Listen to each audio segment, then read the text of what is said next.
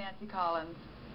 How old do you support, suppose George Hamilton is? I mean, we're not Oh. dealing with a spring chicken there. He's been around for a while. Fantasy. He's got to be at least in his 40s, right?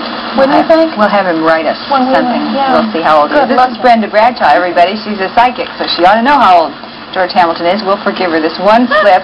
um, but you deal with handwriting here, but today we have pictures, right? Yes, we certainly do. Uh, this uh, man from Goochland, Virginia, he said I could use his name, Walter Johnson.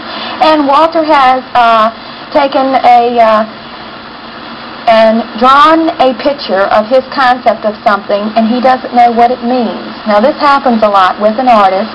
When they uh, pick up a piece of paper, they're not quite sure what they want to put on the paper.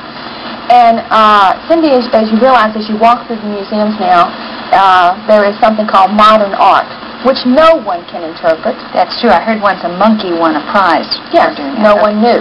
What You're not saying that Mr. what's his name Johnson? No, Mr. Mr. Johnson is a person who can put something on paper from his subconscious mind and not realize what it's going to be when it comes out. And most famous artists do that.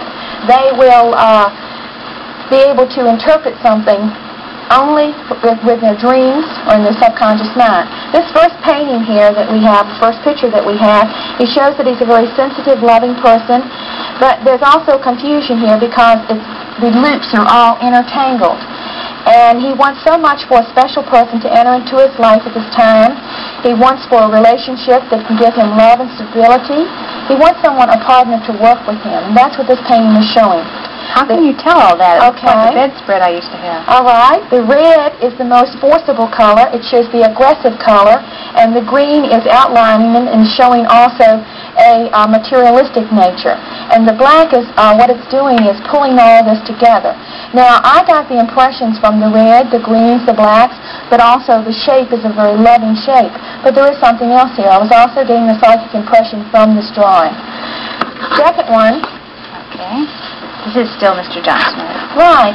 Now, if you look very close here at this picture, this looks like a woman on a beach and she's bending over touching her knees. Can you see that? It's very hard to see this, but she's shying away from him. And this is the woman in his life, and she is shying away from her advances and his advances. And what, what they're doing is they're not showing her his face.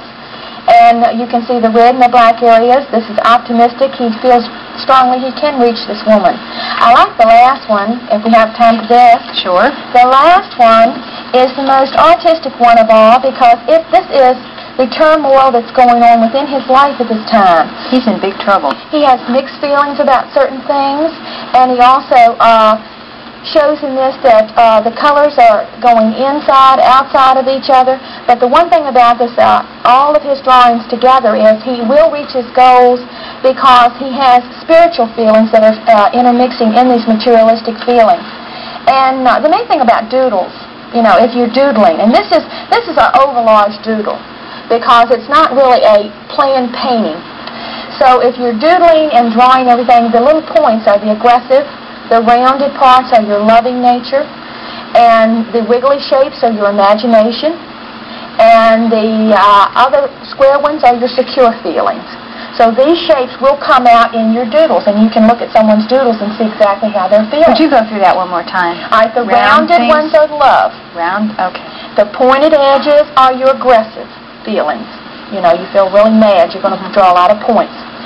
And your square ones are your security.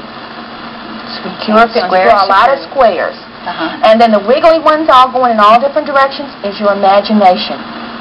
So you can tell by reading someone's doodles how they're feeling while they're writing their doodles. If they're sitting in a meeting, you can see how they're objecting to you by the little sharp points if they're sharp pointing That's great. No telephone pad in Channel 8 is safe from me That- no, today. nothing is safe. No. I'm finding out about everyone.